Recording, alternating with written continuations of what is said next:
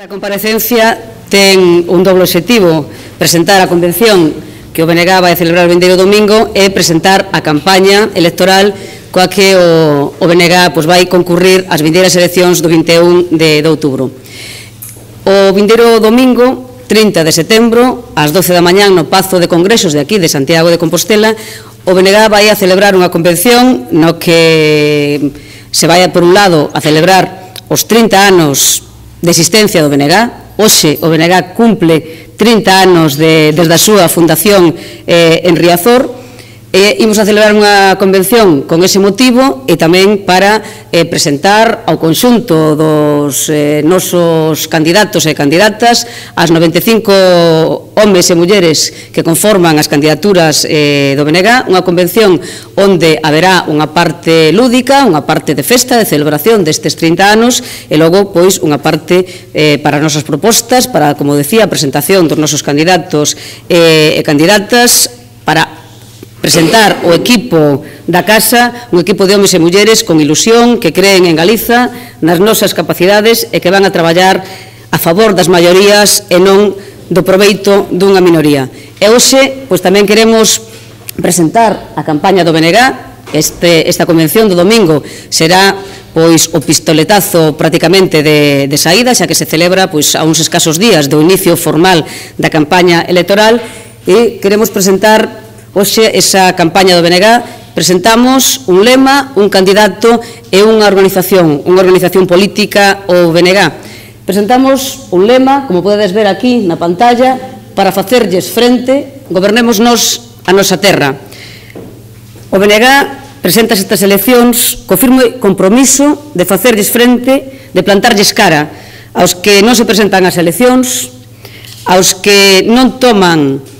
as decisións eleitos polos cidadáns, senón aos que toman as decisións na sombra para facerles frente aos gobernos que se limitan a aplicar o que lles mandan os poderosos, aínda que eso signifique a ruína e o empeoramento das condicións de vida dos seus eh, cidadáns, para facerles frente as medidas que están eliminando dereitos que se tardaron anos en conquistar e para facerles frente aos que queren negar o dereito de Galiza a decidir.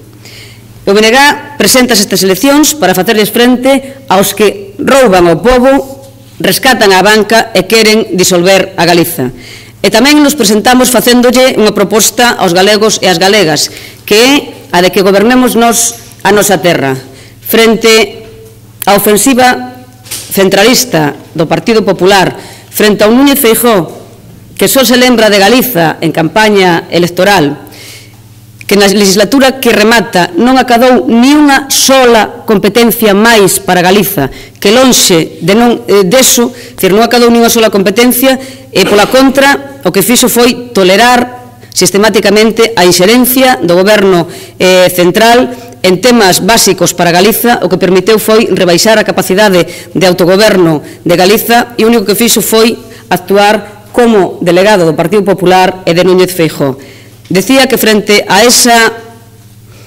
ofensiva centralista do Partido Popular, Cataluña e Euskadi están dando pasos adiante e Galiza non vai ficar atrás. O 21 de outubro temos unha oportunidade de dar un paso adiante, un paso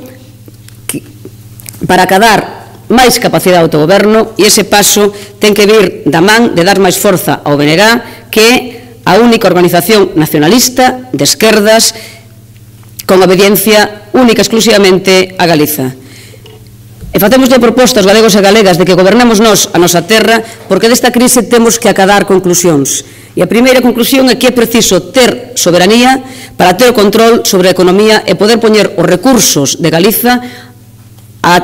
traballar en beneficio dos galegos e das galegas, en beneficio de Galiza e non en beneficio de intereses alleos como está a acontecer en estes momentos. Porque temos que quedar, acadar conclusións e estamos a ver que a falla de soberanía deteriora a democracia e as decisións cada vez tómanse en foros máis alonxados de Galiza e máis alonxados dos nosos intereses. É preciso que gobernemos nós a nosa terra, porque é preciso soberanía, é preciso que reforcemos os, espazo, os espacios de decisión propia.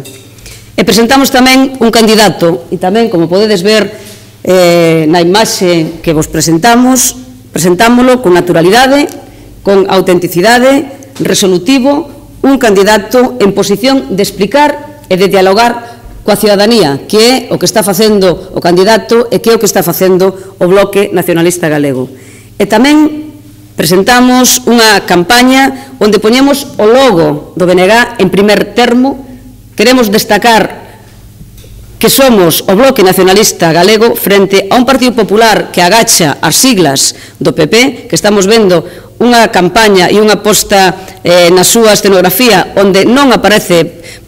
prácticamente as siglas Partido Popular, o BNG, sí que queremos destacar moito as siglas do BNG. Sentímonos orgullosos e orgullosas da nosa organización, da organización a que pertenecémonos, sentímonos orgullosos dunha organización que hoxe cumple 30 anos, que é froito do esforzo de miles de homes e mulleres que puxeron en primer termo os intereses colectivos por diante dos intereses individuais, que creen nas capacidades e posibilidades de Galiza, que creen e defenden unha alternativa nacionalista unha alternativa de esquerdas, unha alternativa centrada en Galiza ao servizo das maiorías sociais deste país sin dependencia de ningún tipo porque a forza do BNG é a propia militancia do BNG e a forza do BNG é o povo galego. Presentamos pois, unha campaña que frente ao peor goberno e ao peor presidente da historia de Galiza, que representa o Partido Popular e Núñez Feijóo a cabeza, Un goberno e un presidente con un balance tráxico para este país, 260.000 parados, 60.000 eh, novos emigrantes, des desaparición do sistema financiero, todos os sectores productivos en crise, abandono da nosa cultura, da nosa lingua, un presidente e un goberno do Partido Popular que desertaron de poñerse ao frente do goberno e exercer como tais, senón que estiveron exclusivamente de espectadores, o BNG frente a eso queremos presentar a campaña das propostas, soberanía, poñer Galiza a producir, defensa dos servizos públicos e defensa da democracia, presentamos a campaña da participación da cidadanía, o BNG dalle a palabra aos cidadáns, o BNG está cos ciudadáns, cos que están a sufrir a crise e tamén lle damos a palabra en esta eh, campaña electoral e presentamos a campaña da rebeldía e da insumisión. Facemos un chamamento a todas aquelas persoas que non se resignan, que non aceptan esta situación, que están facendo frente a estas políticas tan lesivas para a maioría da poboación, a que se rebelen e a que actúen. E o xeito de actuar é o 21 de outubro apoiando a unha forza como o Bloque Nacionalista Galego porque o 21 de outubro é moito que está en xogo, os galegos e galegas acudiremos ás urnas con dúas accións posibles. Unha, a da sumisión aos ditados dos mercados, aos ditados da especulación, dos poderosos e as políticas de centralización do Estado que defenden PP e PSOE. Ou temos outra opción que é a da insumisión, a da insumisión aos recortes, a opción das políticas alternativas, a opción de defender o poder de decisión para Galiza, a opción que representa o Bloque Nacionalista Galego. E non hai máis que esas dúas escollas. Non hai que escoller entre o malo e o peor que nos pretende presentar Núñez Feijó, sino que o que hai que escoller é un cambio radical de rumbo, un cambio de políticas que permitan que Galiza, que os galegos e galegas poidamos sair desta situación.